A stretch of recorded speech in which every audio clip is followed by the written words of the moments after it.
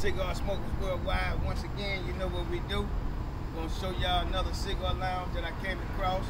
Every time I go somewhere, if I come across cigar lounge, I want to put it out there so y'all know if you're out here and you want to see a go to a cigar lounge. So right now, we in Myrtle Beach. We outside of Nick's Cigar World Lounge. It's here in Myrtle Beach. So we're gonna just do a walkthrough check it out. All right, let's go.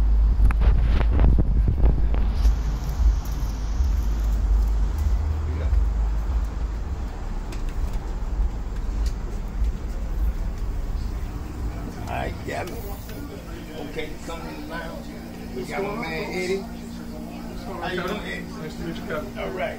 Now, what's your title here? Are you the salesperson, the manager, or I'm a tobacconist. tobacco? I'm an actual tobacconist, yes. That's it. I'm kind of learning from my group, so you know, if you teach me, you know, we're gonna put it out there. So you was telling me how's the well, you in here. I mean, what would you say your cigar count is? So we have about 115,000 different cigars in here right now. Uh, this is a 2,000 square foot humidor. Uh, we're in the uh, city of North Myrtle Beach, South Carolina. Uh, we've been here for 24 years. Uh, we also have a bar next door. It's a bar and a lounge where we serve beer and wine. Okay. And that's been a part of our business for about 10 years now. Okay. Uh, we have, like I said, 115,000 cigars. Um, the whole humidor is a, uh, you know, a 2,000 square foot humidor. We have a filtration system over there, and that's all distilled water that's been filtered about seven different times before it comes out here. We're mainly a heritage-driven company. Now, when you say heritage driven company, what, what does that mean? I'm, I'm, I'm halfway new. Yeah, you sure. Know, I'm learning this. So, what's Sure. heritage?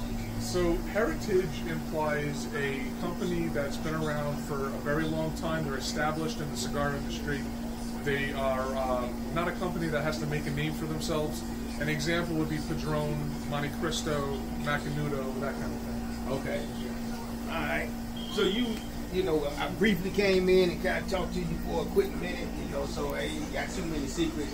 But you was telling me the way you have, how you have your humidor set up for it with your cigars. So we like that. are we are arranged alphabetically here in the humidor. Uh, we start with the letter A with our Ashton's and our Toro Fuentes in the corner of the room down there. Okay. And we move on to Brick House, uh, Butera, CLE, um, and then we just make our way all the way down to Z with our Zinos from uh, Davidoff. Wow. And uh, everything is in the case, and everything that's in the case we actually sell by the box, and those boxes are listed along the walls of this humidor. Oh, okay. So if I wanted to get one of these boxes here, you got it open. It's, it's already. Absolutely. Everything you see, we have boxes for. Yes, sir. Wow. Man. Yep. It's a lot of cigars here. You said you've been here 24 years? 24 years, yep. Man, how long 24 you been working here? I've been here for about six months now. Six months? Yep. Okay. I've had a passion for cigars. I've been a long-time customer of Mhm. the business, and uh, I figured I might as well start working in an establishment that I enjoy, Right. and uh, this is my passion. So I love to talk about this stuff. So how many cigars do you smoke a day? I smoke about four to five a day, Four to five? and uh, I smoke probably three to four while I'm working, and another one to two when I go out and work. Uh-huh. Um, and of course, it's much more enjoyable to smoke while you're at home, relaxing with something to drink. Right. And uh, but yeah, I smoke about four to five a day. Now, would you say the majority of your customers are from in, like in town or out of state? How, how- what, what, what would you say your percentage? How does that work? Um, a lot of our traffic is tourism, Mm-hmm. um, but we do have a great number of locals that do come in and uh, shop with us. I would say it's probably 60% tourism, 40% locals. Okay. Um, but everybody's a great customer. Um, but in addition to this retail store that you guys are in right now, we also have an online business Okay. at nickcigarworld.com. And uh, we ship all across the United States. Okay. And uh, we have specials going on all the time, and that's where you can find us online. Oh, wow. Okay. Eddie, I'm going to walk around, look around at the humidor, and probably come back and ask you a few more questions. Now, you said that's the bar area over there. right? Correct. Yeah. So that's our adjoining bar and lounge area. Mhm. Uh, our bartender's name is Robin, and she's been with us for about a year and a half. Okay. Uh, great person over there. Uh, she serves beer and wine. Okay. Uh, we just can't serve liquor or food because we don't have the license for that. Right. But we do have beer on tap, and we have a selection of wines available as well. What's your hours operation? We are open seven days a week from 9 a.m. to 9 p.m. Okay. Wow. We got a lot of stuff here, so I'm gonna browse around, come back to you. We're gonna talk a little bit more. You got it, man. I look forward to it. Thanks a lot. Ed. You're welcome, guys. All right. It's good, but I got this from my girlfriend, and it's really So what is it called? Sindicato? Sindicato, yes, sir. And tell me what you just telling me about the So, blends again. Sindicato is owned by 40 retailers across the country, Okay. and it's made by Rocky Patel. Rocky does the rolling for the owners of Sindicato. Okay. And this is, again, the closest to an authentic Cuban style that we've got in here. And what makes it that is it's got the blunt front, it's got the pigtail end, and it's rolled in the entubado method. I'm not sure if you're familiar with it. Yeah, that's what I said. What So can you you mind? in Spanish Uh-huh. these little tubes. So every single filler leaf in here Right. is rolled in its own individual tube, Okay. and then it's put together. So it's four brands that we have in here that do it all the time. Of course, that's Sindicato. You've got uh, Padron, My Father, and Arturo Fuente. Okay. And then other brands will put one or two entubado style in there, such as the uh, Pilón by CAO is another one. But um, yeah, that's a terrific. Now I was looking at that wrapper. Now that's a little light wrapper. Is that is that strength, full body? I mean, what what, what This kind is going to be a medium. That's a medium. It's gonna be medium. San Andrés Mexican on this side's gonna be full body. It's gonna have some some spice to it some as well. spice. Okay. Yeah, and the Corojo here is gonna be a nice medium body. Wow. Spice in it. So that's Gonna have a a little bit of spice in it as well. Correct. Not as spicy as the San Andrés, obviously, but Now, you like a milder cigar, is that correct? I'm kind of I'm not so much full Maduro. You know, I'm just kind of kind of in the medium medium. Well, you'd probably go for that. Yeah. you've tried, I'm sure, the LFDs, the Florida Dominicana. Yes. Okay. Uh-huh. I like their Maduros. Right. I'm like you, I like them nice and smooth, a little mellow. Uh, I'm not a heavy, peppery guy on the uh, on the Maduros as well. Right. Okay. Tell But them you know, about, that's my tell them about Yeah. the cigars that have the I'm gonna pick up me something. on the wrapper. What, what is that? Oh yeah, he knows about the plume. Oh, the plume. Plume. Yeah. Yeah. Oh, yeah, he knows about Man, plume. we, get, we bought every one we could get, man. Yeah. They were So, on the money. what's your opinion on the plume? See, you know that's the the big debate of the plume and the, and the mold. Thank you, retired Army. Yes, sir. Thank you for your service. Thank you. Yeah. Yeah. He was retired too? Yes. So Oh. He's at Fort Jackson and Fort Bragg. All right. Yeah. I did 10 years over there. Yeah. But now, what's your take on the the mold and the plume? What uh, as far as the debate on that? Here's our easy way to tell. Okay. If it's plume, it'll wipe off. All right. If it's mold, it ain't wiping off. No matter what you do to it. Okay. Plume's just gonna come straight off with your finger. You look at that stick right there. Mm-hmm. It, on, a, on this plat, whatever the wrapper, not the wrapper, but that, Right. you could tell it, it was aged for a long time. It's not old. Right. Hmm. Because that's been a big debate, you know, mold, plume. That always kind of come up, you know. So. And uh, obviously, you'll find plume happening more on Maduros Uh huh. than you would on a Connecticut, for Now, why would you say it happened more on Well, you're gonna have Maduro? More oil. More oil base is going to come out of that. Okay. So, and of course, that's what's going to cause that plume. Okay. So going to have the oils that come out of the filler through the binder onto the wrapper, and as it lays on there, that's what's going to cause that plume. Hmm. The more oil you're going to have in it, the better chance of you don't have plumes. So you just wipe that off Wipe and it off. keep it going. it. Uh, which one do you think? Wipe it off and Which enjoy one it. do you recommend? For this gentleman here, Crazy Alice, the Fat Bottom Betty, and the Leather Rose. Now these are all made under the Deadwood line by Drew Estates, Okay. and they were made for a lady that owns a bar out in Sturgis, right, for the bike rally. South South Dakota out there. Yeah, Okay. uh, for the bike rally. Okay. And she wanted something that uh, they could smoke in her in her establishment, and it would smell great. It wouldn't chase people away. So she went and asked Drew Estate to make her a nice blend, and they did. Okay. And they were such a hit. They rolled out the first original three ladies, which was the Sweet Jane, the Crazy Alice, Fat Bottom Betty, and um, they were such a big hit that they brought them out nationally, and they just killed. So initially they just brought them out Just for that. her out, but out, they Yeah. make they blend them for her. Who who's the maker of that again? Drew Estate. Drew Estates. Drew Estate. And Okay. of course they make acid. They make the Tabak Especials. They The Undercrown. The Undercrown. Uh-huh. Right. Okay. So they got all that. So they really corner the market on on the sweet infusions. Right. This uh, Leather Rose is their newest lady they added to the batch. I'm gonna say maybe within the last six months. Had to guess, about about six months. Okay. I've been seeing that. Yeah, I'm gonna pick that. I'm gonna get the. Uh, That's she said, amazing. And from the bike rally, there you go. Whole line of cigars. "Wow, Yeah. yeah, yeah." We're gonna go with uh. Leather Le- Rose. Leather good Rose. Call, good call. I get a leather That roll for her. The sweetest of the bunch. Okay. Good, good, man. I'm learning a lot from you guys up in there. Yeah. Boutique, because I hear boutique cigars all the time. What exactly does boutique cigars make? Small, small, small amounts of cigars, like Black Label, they make cigars that now you can't get them because they can't produce as many as people want. So they don't make like millions and millions. They, they make small bundles, small batches. Is that what it is?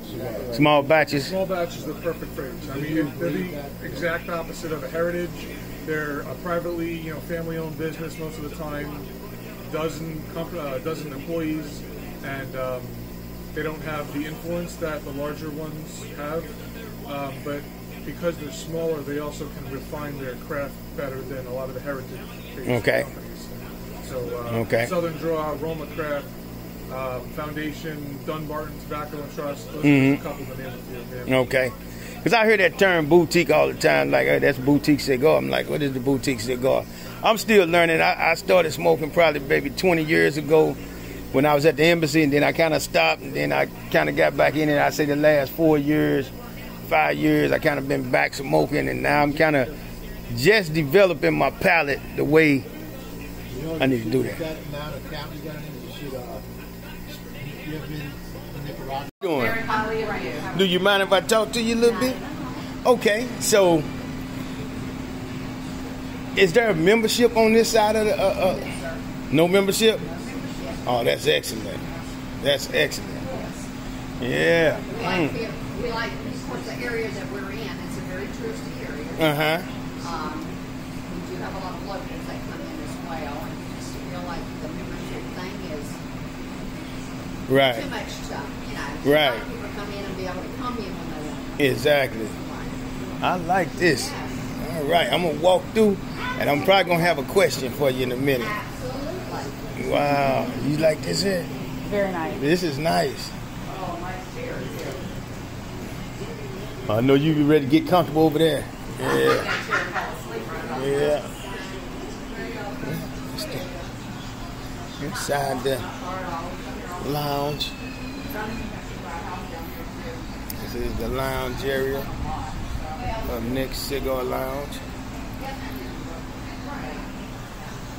Very nice. Yeah.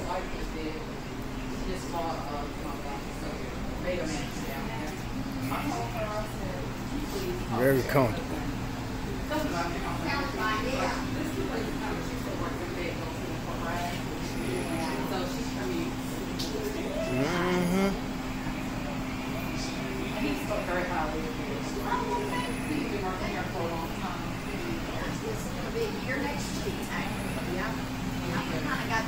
Okay, we inside Nick's Cigar Lounge down here in Myrtle Beach.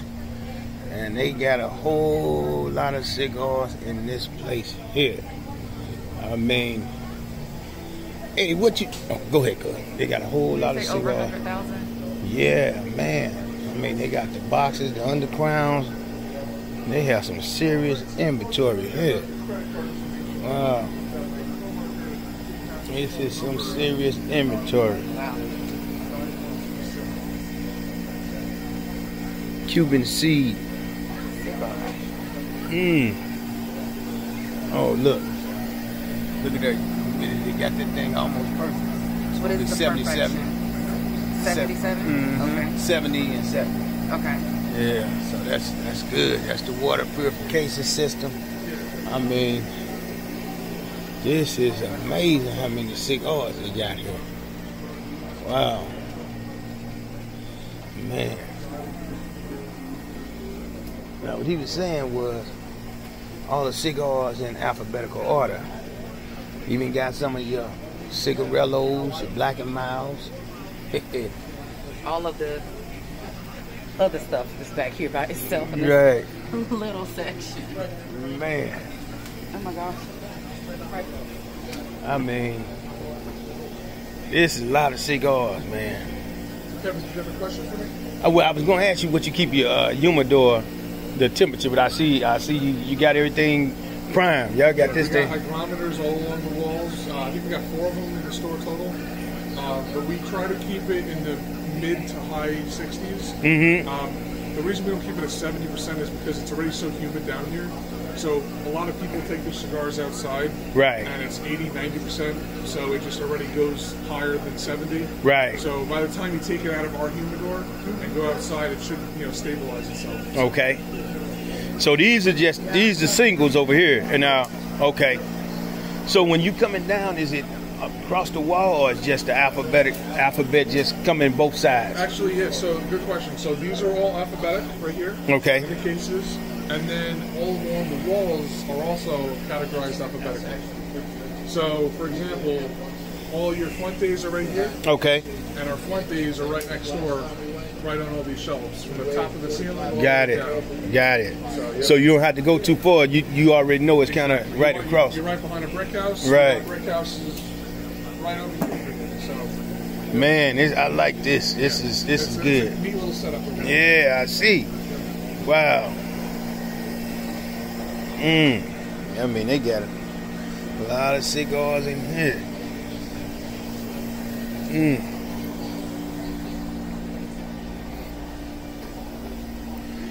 Man, a lot of cigars. Five count humidors. An ashtray. Merchandise.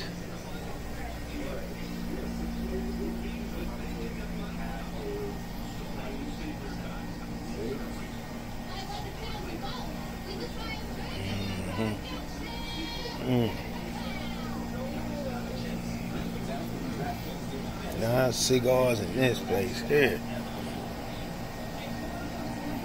Wow. Monte Cristos. Mm.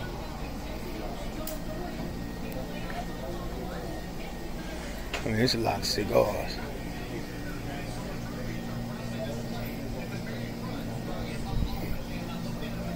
What you said the, uh, the square footage was, Eddie, again, in here? A little over 2,000 square A little over 2,000? Yep. Okay. Um, normally, the other thing is we also pride ourselves on being one of the biggest Padron retailers in the country. Okay. Um, Padron right now, of course, has a terrible, terrible uh, backorder log that they have in their factories. So uh, the thousand series right now are really hard to get. Um, we have some of their anniversarios, the 64s and the 26s, uh, and the top shelf is the family reserves. Uh, but the thousand series it's just very hard to get right now, so that's why the shelves look a little bare. I see the Olivas are doing good over here. Olivas are pretty good for us, yeah. Uh-huh. Uh, but normally we have about 400 boxes of Padron in the store at one time on any given day. Wow. And uh, yeah, that's including the thousand series and all the higher price stuff. But at the moment, it's been very hard to hard to get in. Okay. Yeah. Man, that's that's pretty good there. Wow. Yeah, that's pretty good. Wow. That's pretty good.